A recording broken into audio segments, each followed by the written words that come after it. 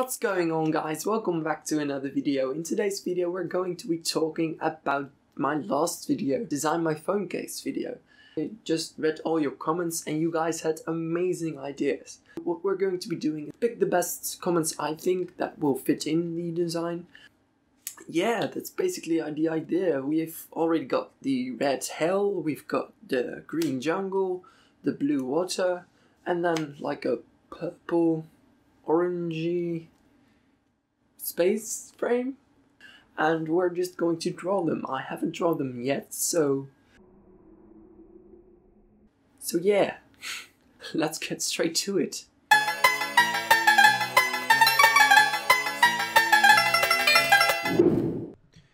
So I started off with just drawing some basic background colors and trying to draw from memory which was not a really good idea. I had no idea how to draw a proper space uh, background, so I searched up a reference file and I tried to go from there, and uh, it should uh, look pretty good. After looking up the reference file, I found this beautiful picture of a star nebula, I believe.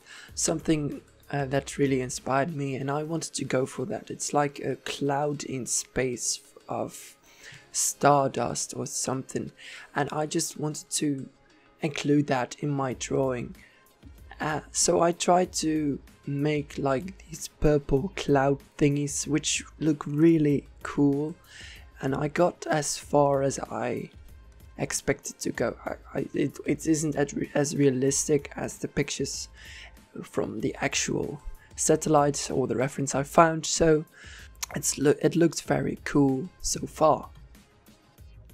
Now that we've got our background, let's get to designing my alien self. Here I go and use my usual steps for creating a character, I just start sketching, usually with the shape of the head, and since it's my own character, the usual uh, sizes and forms are already known. So that was not so difficult for me. Uh, the shape of the head was already figured out, and I'll just I just had to make an alien out of it. But still, wanted I still wanted to make it uh, recognizable.